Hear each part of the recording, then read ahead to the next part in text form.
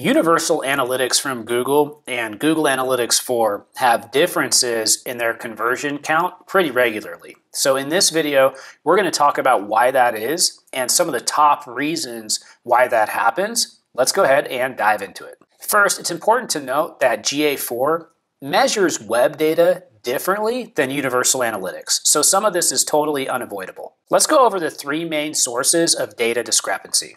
First, there's inherent differences between Universal Analytics and Google Analytics 4. GA4 properties have different data models than UA properties. For example, Google Analytics 4 collects events while Universal Analytics collects hits. Additionally, to support the new privacy preserving technologies, Google Analytics 4 is built with AI powered solutions such as behavioral and conversion modeling. These solutions give you a complete view of the performance, but they don't compromise privacy. However, they're just not available with Universal Analytics. Also, I should note everything I'm going over today comes directly from Google documentation. Now, the second item that's one of the main sources of discrepancy is the differences in setup. There's differences in site coverage for Universal Analytics tags. There's also different data firing conditions and e-commerce schema. Item number three, there's differences in settings. Just in general, the main settings between Google Ads, Universal Analytics, and Google Analytics 4 have different defaults.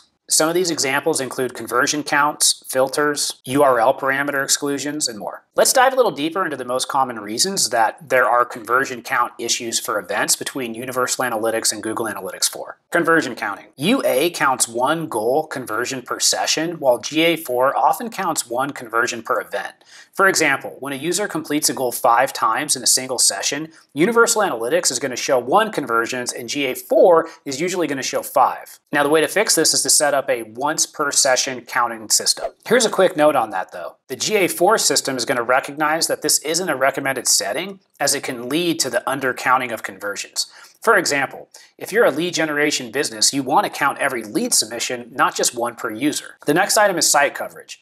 This happens when you've got a tag for Universal Analytics, but you don't have a tag for Google Analytics 4 on your website when a page is firing, or vice versa. That's why it's so important to use something like Google Tag Manager to deploy your tags to make sure that you got apples to apples when you're measuring pages. The next item is implementation errors. When setting up data collection for Google Analytics 4, it's possible a tag is implemented incorrectly. This can result in seeing no data at all in your GA4 property, but in some instances, you'll see partial data in your GA4 property. To fix this, make sure you're following the standard implementation in the developer guide. Let's talk about filters. Universal Analytics filters work very differently from Google Analytics 4 filters. It's common for Universal Analytics filters to be in a place and significantly alter the data inside a UA property. For example, only show data from France. GA4 has a very different set of possible filters. So because these filters are different in Universal Analytics and you don't have them applied to Google Analytics 4, your data is going to be a lot different. You want to create included and excluded filters for internal and developer traffic. You want to modify event names and parameters